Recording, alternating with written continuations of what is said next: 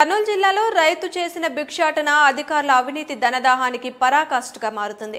అధికారులకు లంచం ఇవ్వడం కోసం కుటుంబ సభ్యులతో కలిసి భిక్షాటన చేసి వినూత్నంగా నిరసన తెలిపాడు ఓ రైతు.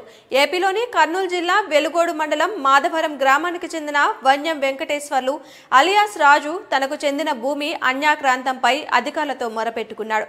తన ఇరవై ఐదు ఎకరాల భూమిని సమీప బంధువు ఆక్రమించాడని రాజు ఆరోపిస్తున్నాడు. తన భూమి తిరిగి ఇప్పించాలని రాజు కోరుగా వీఆర్ఓ లంచం డిమాండ్ చేశారు. అయితే దీనిపై రాజు వినూత్నంగా భిక్షమెత్తుకుంటూ తమ నిరసన తెలిపాడు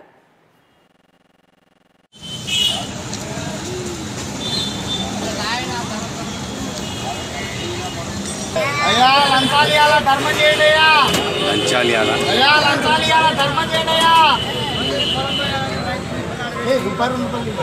ఎంఆర్ఓలకు లంచాలు ఇవ్వాలంటే అధికారులకు రెండేళ్ళు తిరుగుతున్న కుక్కలేక ఇంతవరకు పట్టించుకోలేయా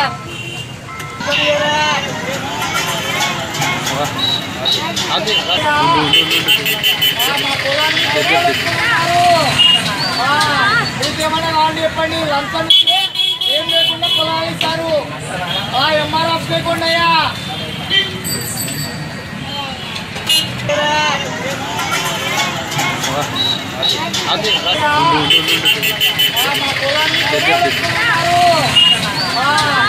మీకేమన్నా కావాలి చెప్పండి. లంచం ఇస్తే ఏం లేకుండా పొలాలు ఇస్తారు. ఆ ఎంఆర్ఎఫ్ లేకుండా అయ్యా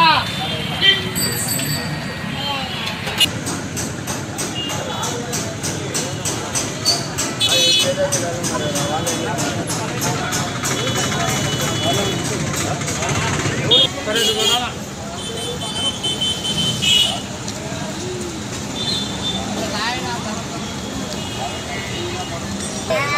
లంచాలు ఇవ్వాల ధర్మం చేయండి అయ్యా లంచాలు ఇవ్వాలా అయ్యా లంచాలు ఇవ్వాల ధర్మం చేయండి అయ్యా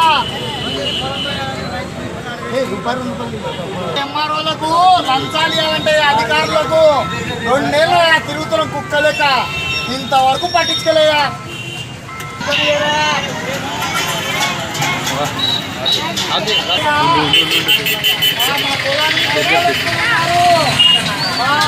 మీకేమన్నా కావాలి చెప్పండి? లంచం ఏం లేకుండా పొలాలు ఇస్తారు ఆ ఎంఆర్ఎఫ్ లేకుండా అయ్యా